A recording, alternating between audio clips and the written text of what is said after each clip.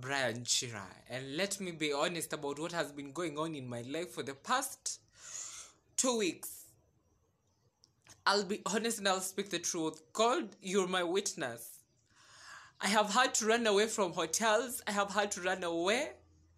I have had to shuka matatus just because someone notices Brian Chira sitting next to them. God, I did nothing wrong.